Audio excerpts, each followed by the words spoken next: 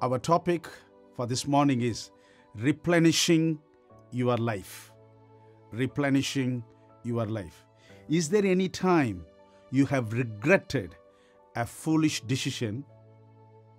Is there any time you thought you made a mistake of which you are ashamed of?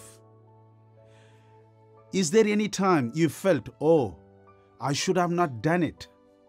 Or I should have not had the relationship with the person? Is there any time you made a blunder and finding it hard to learn the right thing? Today, my friends, God is inviting you to replenish your life. Let us read Proverbs chapter 2, verse 6 and 7. For the Lord gives wisdom, from his mouth come knowledge and understanding. He stores up sound wisdom for the upright. He is a shield to those who walk uprightly. My friends, why would you need wisdom? I would like to give uh, three suggestions from Proverbs second chapter. Today, if you are struggling to take a decision, if you are struggling to discern people, let's learn from Proverbs second chapter the three suggestions that King Solomon, the wise man, give us. Suggestion number one Proverbs chapter 2, verse 5 says, God is inviting you to ask for wisdom so that you will know who is your God. So, the first suggestion is you need a wisdom to know who is your God and how to fear Him because He is your shield and your buckler. Suggestion number two why you need wisdom. Proverbs chapter 2, verse 11 says, God is asking you to pray for wisdom so that that wisdom will preserve and keep you. And number three, Proverbs chapter 2, verse 16 and 17 say, God is asking you to pray for wisdom so that your marriage will be protected. So, number one, you know you are God and you fear Him.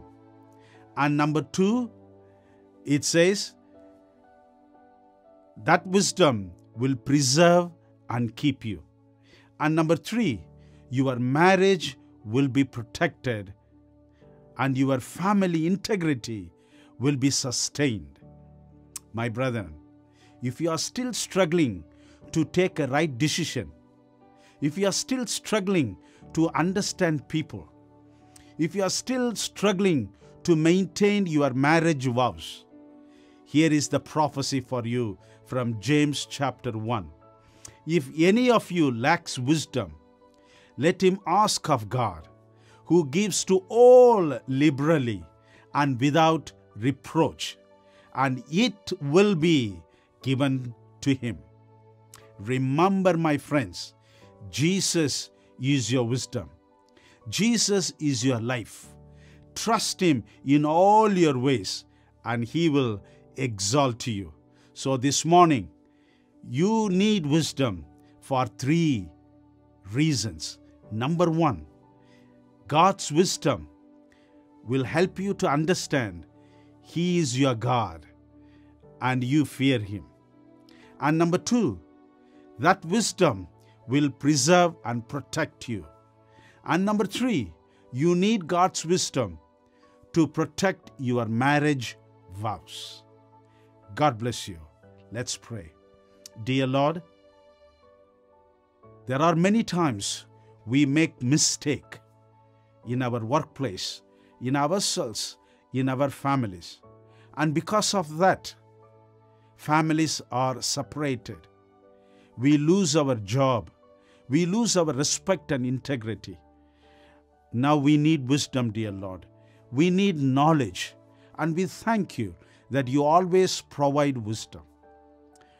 Your wisdom will help us to understand you. Your wisdom will help us to understand that we are protected and preserved in your hand. And we need your wisdom so that our marriage and the marriage vows will be sustained by your power. Thank you so much for these wonderful promises. In Jesus' mighty name, we pray with thanksgiving. Amen and amen. God bless you.